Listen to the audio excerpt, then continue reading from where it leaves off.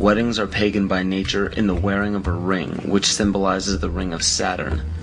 Funerals follow the same pagan derived ritual when a sacred geometrical tomb is placed over a grave to embody and immortalize the spirit. Baptism is a ritual to submerge a child in holy water to symbolize the renewal of life, just as rain replenishes the earth. The Holy Grail filled with wine is a representation of the blood that comes from the birth canal during menstruation, not the blood of Christ. This ritual was taken over by the patriarchal society. Males could not give life as women do, so to symbolize a male giving life was to draw blood, which could only be done by injury. In ancient Egypt, the goddess Isis was the personification of wisdom. Pharaoh Akhenaten changed the worship to himself as he proclaimed himself Amun-Re, the sun god. The word Amen at the end of a prayer spawned from the praise given to Amun-Re. From there, the Hebrews left Egypt and traveled north into the Middle East, where they encountered the Canaanites, who worshipped the god of Saturn, El. The merging of these three gods became the name of the land today, which is known as Isis Re El or Israel. 98% of Judaism is based around the worship of Saturn. And the sacred day of worship is Saturday. The worship practice on Sunday is originated from the Egyptians who worshiped the sun god. Most people simply pass these things off and never question their origins, but this just scratches the surface of the pagan influence over the present day. It is not just found in religions, it is found right here in our own backyard.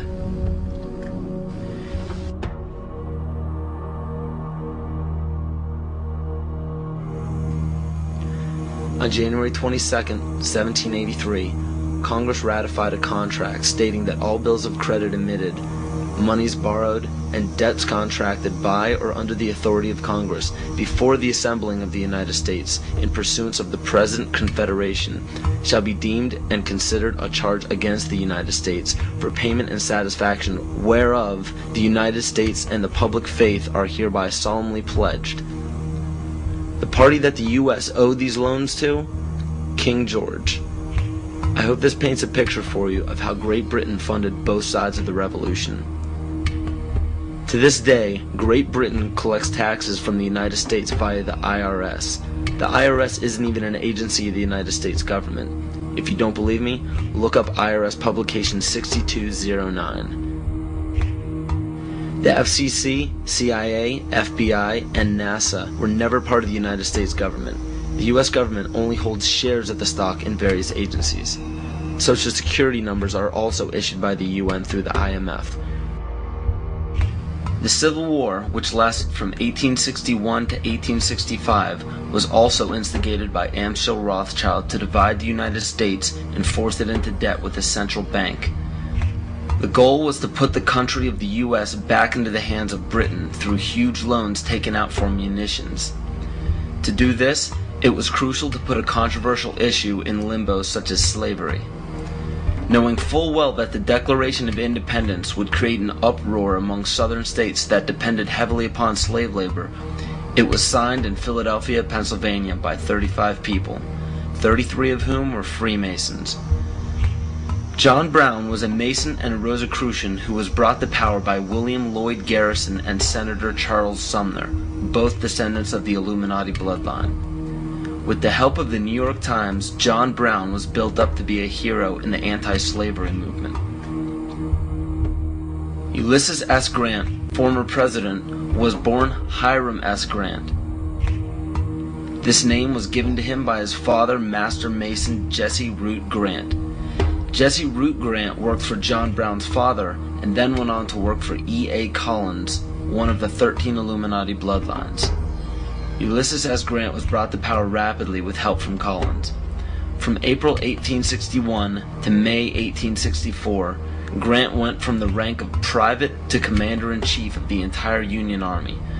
Once Grant was appointed president, his cabinet consisted of eight Freemasons, including Alphonso Taft, which was William Taft's father, who was also an ancestor of Bill Clinton. Jonas Mills Bundy was one of the 13 Illuminati bloodlines who was also the presidential advisor to Grant as well as the next two presidents. And cabinet member Columbus Delano was Franklin Delano Roosevelt's grandfather. In November 21, 1933, President Franklin Roosevelt wrote, The real truth of the matter is, as you and I know, that a financial element in the large centers has owned the government ever since the days of Andrew Jackson. Abraham Lincoln's father was A. A. Springs, who was part of the Rothschild dynasty. Lincoln's half-brother worked for Louis Cass Pasteur in the Merovingian dynasty, which was the 13th Illuminati bloodline. Pasteur also owned Jekyll Island, which was where the Federal Reserve Bank was created. In the mid-1800s, Abraham Lincoln and the Whigs were trying desperately to keep Andrew Jackson from establishing a gold standard called the Independent Treasury System. Lincoln and his party fought to set up a central bank, making such public speeches as, under a gold and silver standard, all will suffer more or less, and very many will lose everything that renders life desirable. This statement resounds elements of scare tactics in this speech and other speeches on the matter given by Abraham Lincoln. They give no real evidence or explanation. In the early 1900s, after a failed attempt for Woodrow Wilson to set up what was called the League of Nations following World War I, Wilson and his advisor, Colonel House, set up the Institute of International Affairs. This institute had two branches.